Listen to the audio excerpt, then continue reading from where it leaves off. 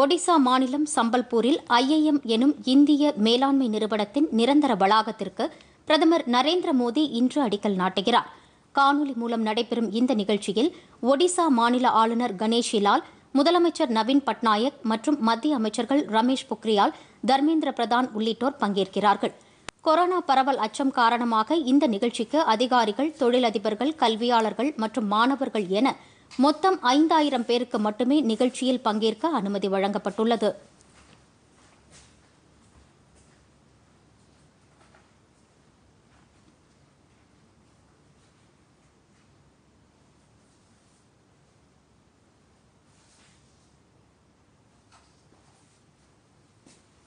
அடிப்படை பாடங்களை மின்னணு முறையில் கற்பதற்கும் தொழில்துறையிலிருந்து நேரடி திட்டங்களின் மூலம் அனுபவ பாடங்களை வகுப்பறையில் கற்பதற்குமான மாற்று வகுப்பறையை முதலில் செயல்படுத்தியது என்ற சிறப்பை சம்பல்பூர் இந்திய மேலாண்மை நிறுவனம் பெற்றுள்ளது.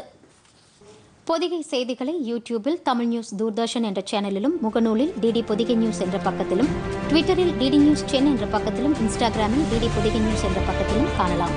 மேலும் உங்கள் கருத்துக்களை Podhigai DD news at Gmail dot com என்ற மின்னஞ்சலிலும் தெரிவிக்கலாம்.